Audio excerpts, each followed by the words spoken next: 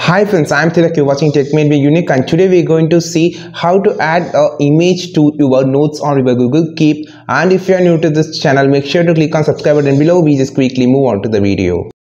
So how to add image notes in Google Keep. So first of all open a new note here.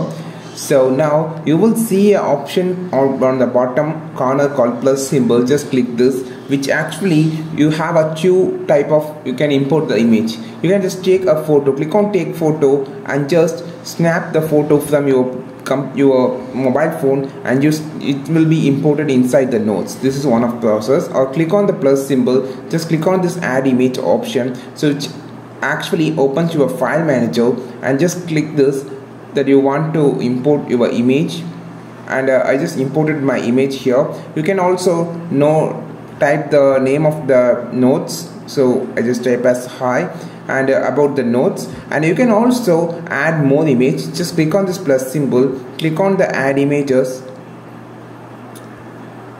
And you can see I just in I just had two images here. So you can just open whenever you want and you just can view the image. You can see and click on this option to grab the text also and copy send delete.